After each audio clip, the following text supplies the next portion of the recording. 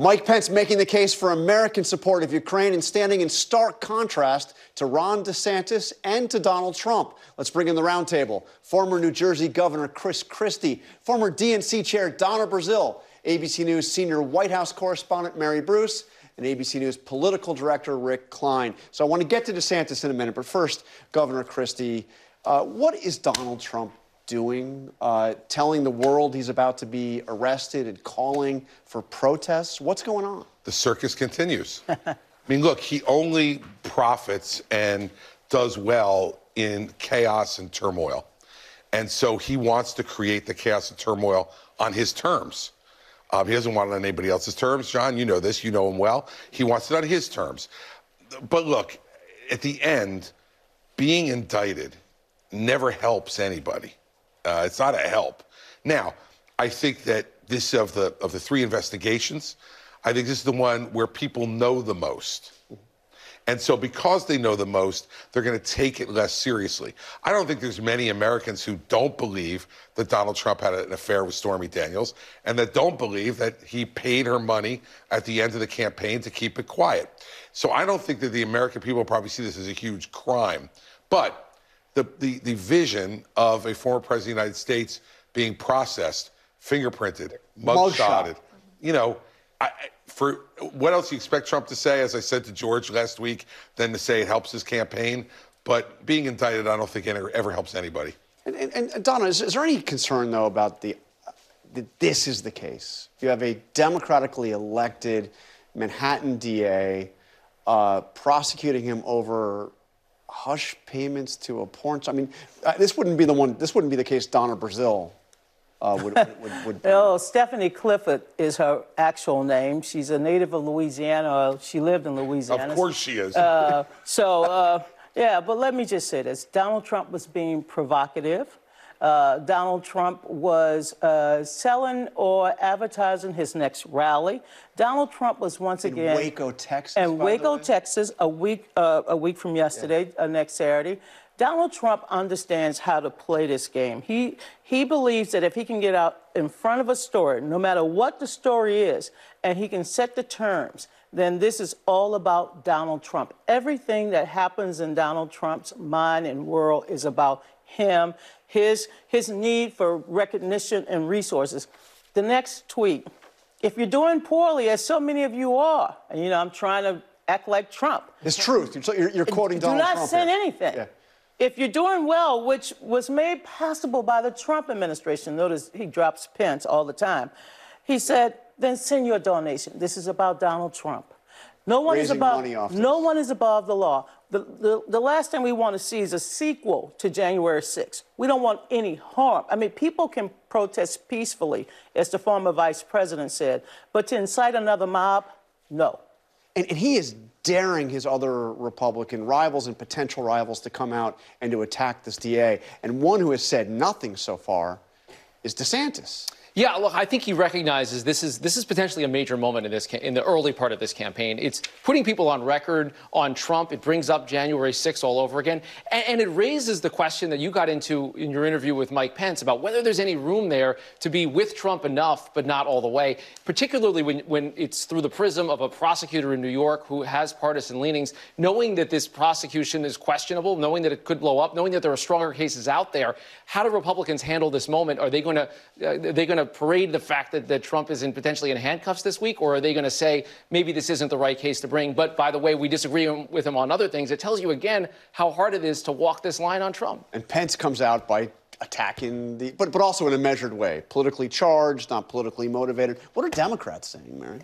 Look, I think what's interesting to Donna's point is he's, he, he's laying the groundwork here. That, that's what Donald Trump is doing. Yeah. Um, he's good at it. What strikes me about what Republicans are saying also is what Kevin McCarthy said yesterday, coming out yeah. and saying that he wants to launch an investigation into whether any federal funds were used in you know, what he describes as this political persecution. But it does, to Rick's point, show that Republicans are walking this incredibly fine line. What are Democrats doing?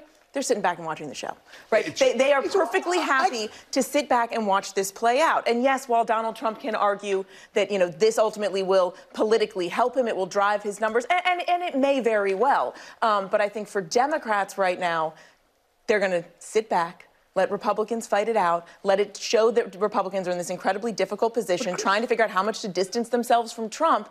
Um, and certainly, you know, running against a felon wouldn't be a bad thing for, for Joe Biden. But, but Governor, what was Kevin McCarthy talking about? Look, I What, think what seriously, what, what did he mean by that? I think two things can exist at the same time, John. Yeah. Right. So you can look at Alvin Bragg as the Manhattan DA, see that he's a partisan. Yep. Um, see that he, in, in lots of people's opinions, including people who live in Manhattan, has failed doing his job regarding violent crime. I mean, the mayor. yeah, I mean, Eric Adams yeah. doesn't like Alvin Bragg. Um, and, and but you can also think that Donald Trump um, is not someone who could be a winning general election candidate for the Republican Party because of all these things. Those two things can exist at the same time, and you're not walking a line. I think you're just telling the truth. And so, what I think Kevin McCarthy is doing is what Kevin's done all along, which is um, he's got a, a small majority of six votes in the House.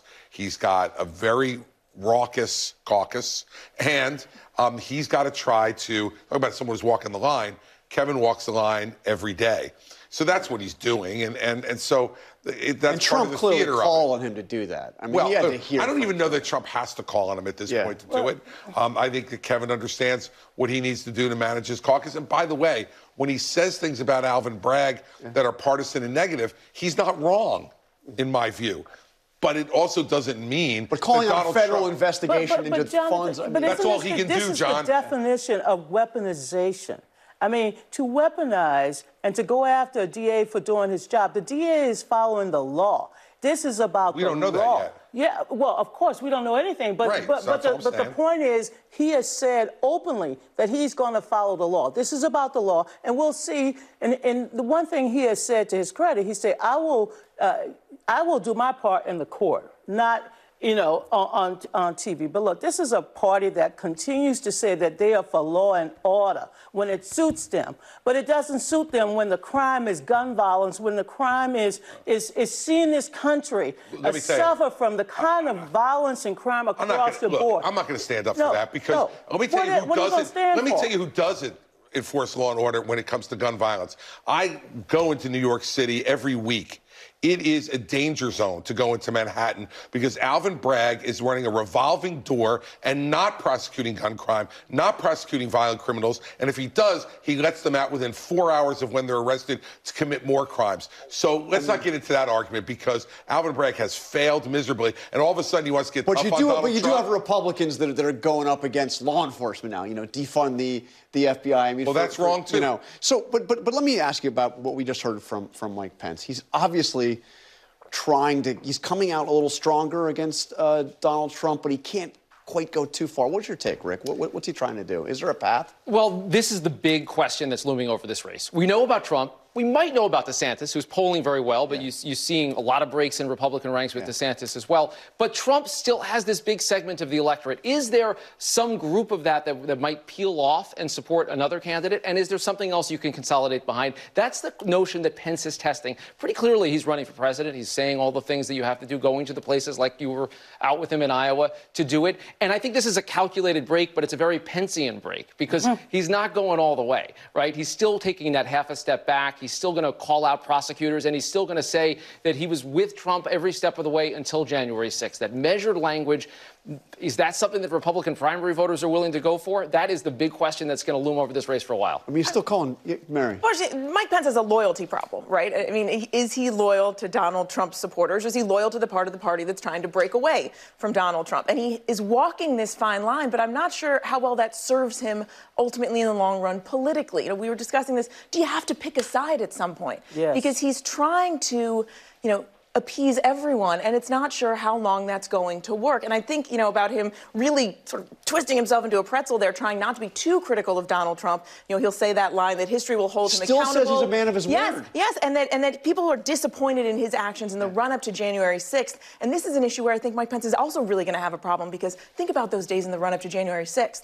He was not exactly someone who was there calling out conspiracy theories about election fraud. Mm. He was not telling Donald Trump to knock it off. And he certainly since then has not been outspoken about election deniers. He campaigned for some of them in the midterms. So which side is Mike Pence going to be on? And there certainly is an opportunity for him now, especially as you see DeSantis and Trump try and slug it out. There's a middle road there that Pence can take. but he's got to be careful, I think, in how he, he moves forward here. Look, um, I introduced Mike Pence to Donald Trump. So this is your okay, fault. He, he, didn't, he didn't know Donald Trump, had never met him uh, until the spring of 2016. Yeah. Um, so I've known Donald Trump three times longer than Mike Pence has. And Donald Trump's not a man of his word. Like, so let's just say it. I mean, and if you think you're, you're, you're kidding, ask David Perdue in Georgia if Donald Trump's a man of his word. We When- tried to get- we when got he got him into the race as, gov- as governor and then and then backed away from when the polls weren't good. Ask Doug Mastriano in Pennsylvania if he's a man of his word. Ask those folks whether they stood by him and he stood by his promises.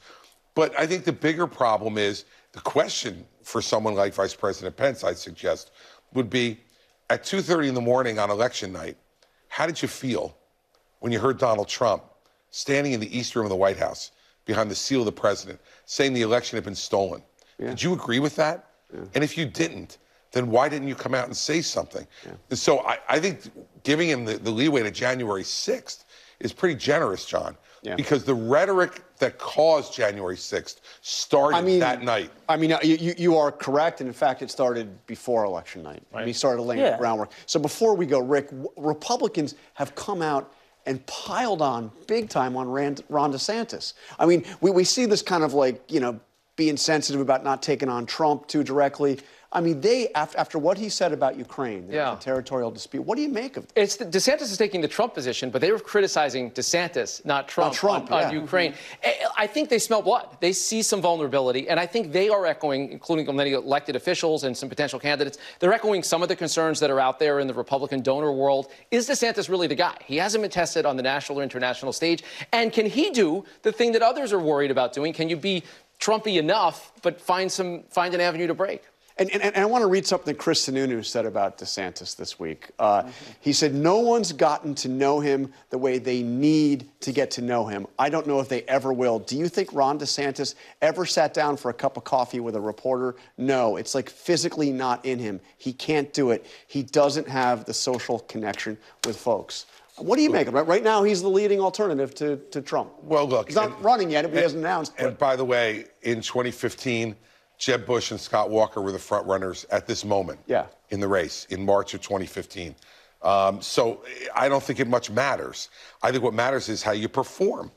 And ultimately, he had his first moment for performance this week, and in my view, he failed miserably. On Ukraine. On Ukraine. Look, a territorial dispute, John, is when you get your property surveyed where your house is, and, and they come back and say, your neighbor's fence is six inches into your property. That's a territorial dispute. Not when you take tanks and artillery into a free country and try to take their land and their people by force. There's, there, there's only two lanes in the Republican Party right now the Trump lane, and he occupies it 100%, and the anti Trump lane.